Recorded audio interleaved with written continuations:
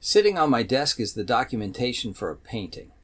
I'm getting ready to attach it to the back of the painting itself. It's always good to literally attach a copy of your documentation to the artwork itself when you can. Documentation for artworks is always getting lost, always getting lost. And when it's lost, all that important information becomes a mystery. The documentation for this painting has about everything you'd want in artwork documentation.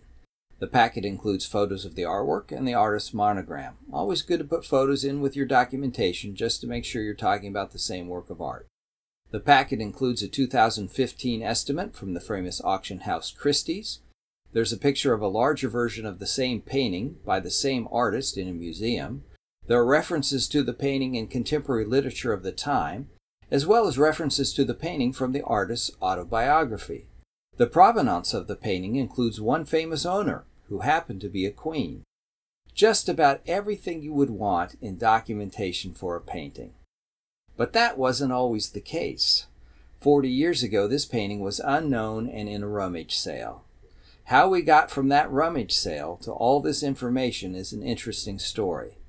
That story will take us to a castle and to the life of a queen. We will see how the reputations of artists rise and fall. We will learn about technology and the pursuit of knowledge about art.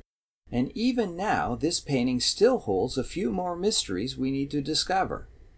I call bringing unknown works of art to life the great game. There are few things that can be more interesting and at times more frustrating. So let's follow the journey of this painting from rummage sale to full documentation.